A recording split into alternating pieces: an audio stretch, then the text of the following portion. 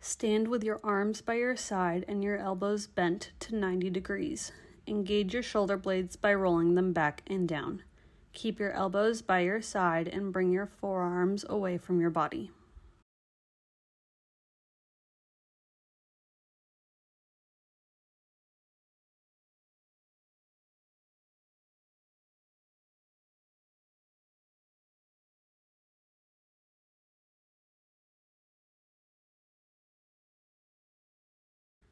Lay on your side with your head supported by a pillow and your elbow bent and resting on your side.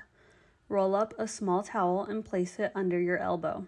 Slowly bring your forearm away from your body while keeping your elbow in place.